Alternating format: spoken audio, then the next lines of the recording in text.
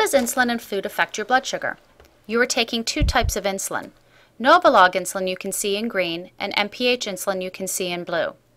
Novolog is a fast-acting insulin that starts to work in 10 to 15 minutes after taking it and peaks within 60 to 90 minutes.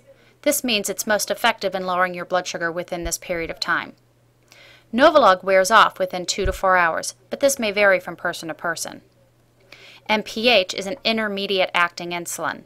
This means it begins working 30 minutes after taking it and peaks within 5 to 6 hours. NPH insulin can last for up to 12 hours. First, you will mix the Novolog and NPH insulin together in one syringe and take it at breakfast and at dinner. The combination of Novolog and NPH insulin at breakfast and at dinner covers the carbohydrates you eat throughout the day. You will also take NPH alone at bedtime to keep your blood sugars within range while you are sleeping. Since Novolog is a fast-acting insulin, it only covers the carbohydrates you eat at breakfast and at dinner.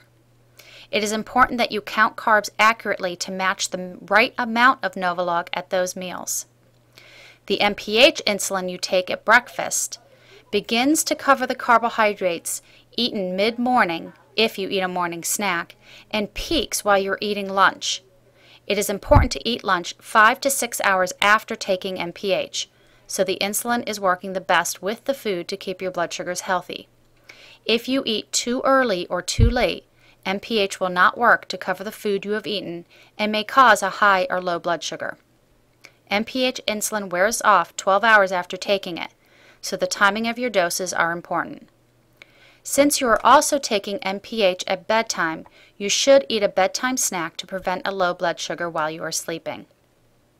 In summary, because you are taking a fixed amount of insulin, you need to eat the same amount of carbohydrate grams at each meal and to eat around the same time every day.